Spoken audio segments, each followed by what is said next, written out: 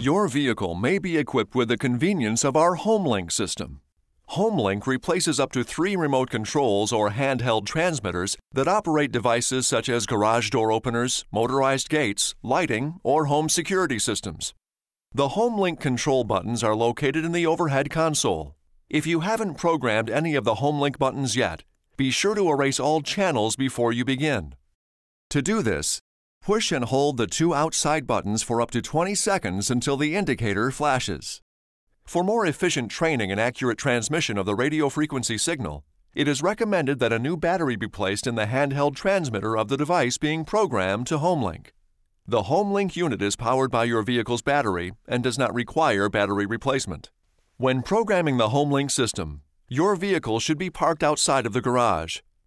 If your garage door opener was manufactured after 1995, it may have a rolling code. These garage door openers can be identified by the Learn or Train button located where the hanging antenna is attached to the garage door opener. So let's take a minute and talk about how to program a rolling code. To start, put the ignition in the on run position, but don't start the engine.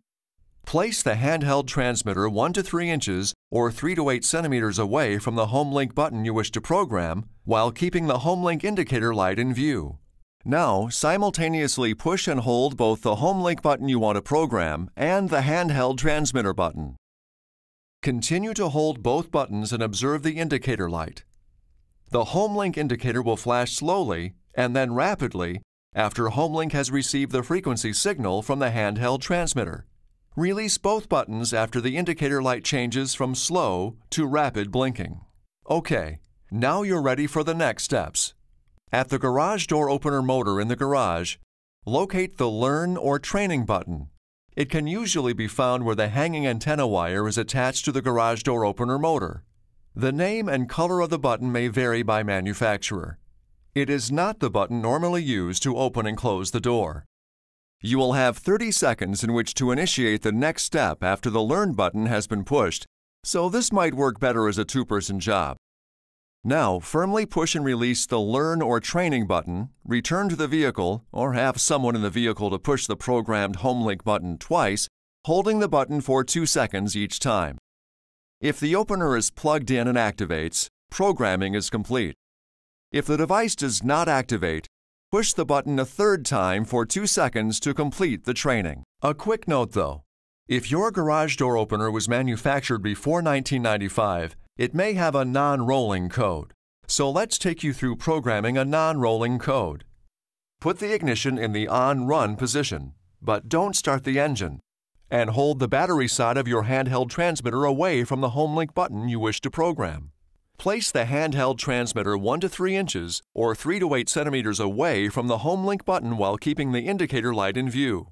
Now, simultaneously push and hold both the chosen HomeLink button and the handheld transmitter button until the HomeLink indicator changes from a slow to a rapidly blinking light, then release both the HomeLink and the handheld transmitter buttons. When the indicator changes, it is programmed. It may take up to 30 seconds or longer in rare cases. The garage door may open and close during programming. To check your programming, Push and hold the just programmed HomeLink button and observe the indicator light.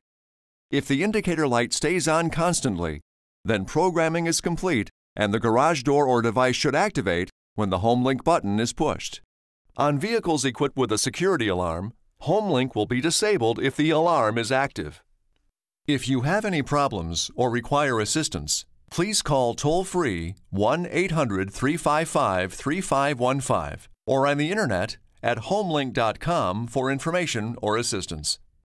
Please refer to the instruction manuals on the Owner's Information DVD or dodge.com slash en slash owners slash manuals for complete details and other important safety information.